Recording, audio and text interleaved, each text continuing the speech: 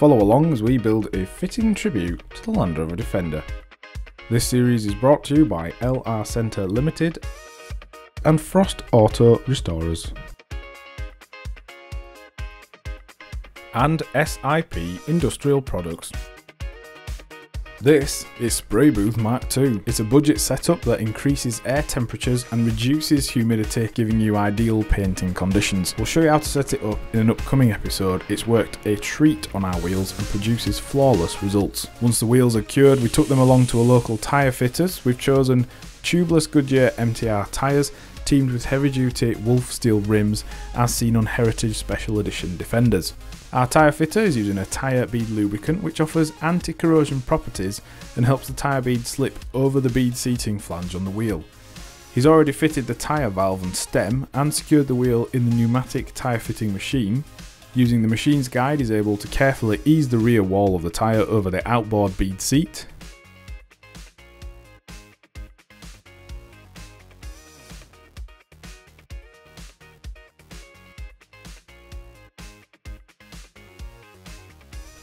Then slip the front bead of the tyre over the outboard lip of the wheel. And that's the tyre effectively in place. It just needs air to complete the fitting and also seat the tyre in its resting position. This goes with quite a bang as the bead snags up on the safety humps of the wheel and then pings past it, hence why the tyre is lubricated to prevent damage and also to allow it to expand and then seat nicely. I'm very happy with the wheels. The SIP Sapphire HVLP gun we used to paint them has given an effortless, smooth paint finish. It's a top spray gun for the money, it's worked really well. The wheel fitting machine does sometimes graze the lip of the wheel, so using an artist brush you can just go back and touch those in for a very quick and also seamless repair.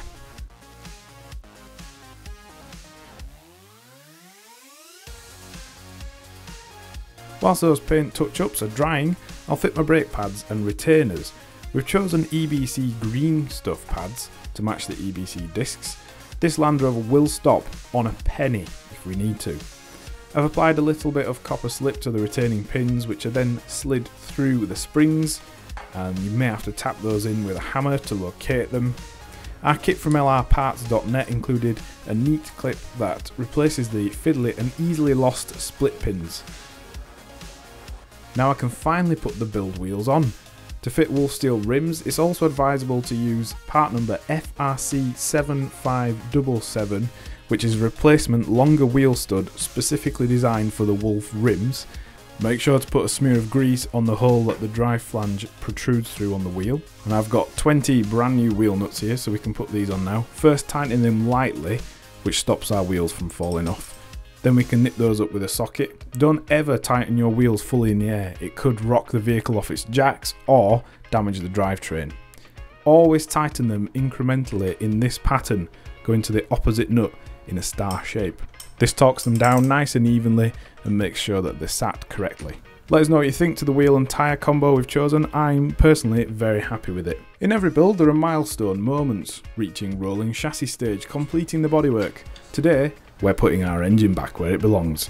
Yes, we're dropping it back into the chassis. First though, I need to bolt up the alternator and vacuum pump as you have more access to do this when it's off the vehicle.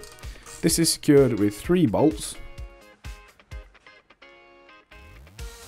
The vacuum pump oil feed is then reinstalled. And the drain pipe too, that needs reconnecting. It's secured with this hose clip and it just simply squeezes together to lock it. To remove the clip, insert a screwdriver into the mechanism, lightly prising it apart and it should spring open.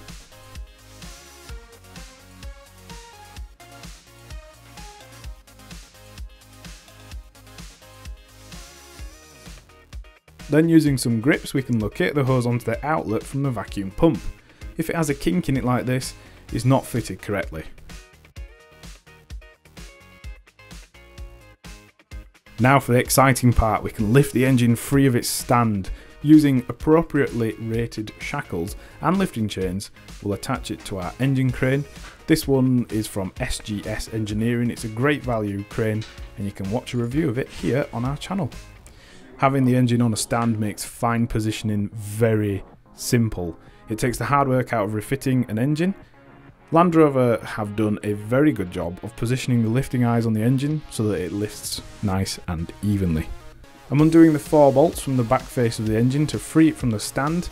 This is also from SGS Engineering, well worth considering if you've got any amount of work to do on the engine.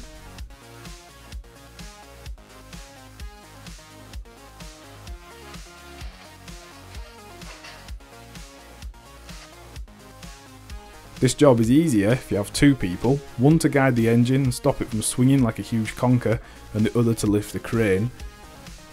The engine needs to be lifted clear of the front chassis crossmember that runs between the dumb irons.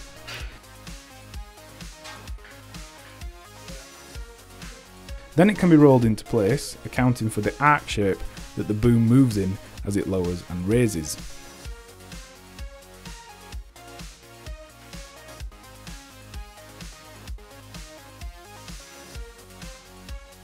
Then we inch it slowly onto the mounts and finally our Land Rover has its power plant back.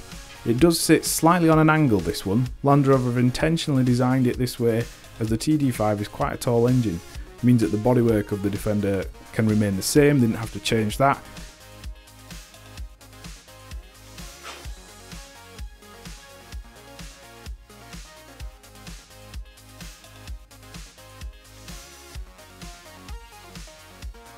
and you can see how they've accounted for the angle the engine sits at in the TD5 R380 bell housing. Thanks for watching, see you next week. We hope you've enjoyed this episode of Funrover TV. You can see our last episode here and also check us out on funrover.com.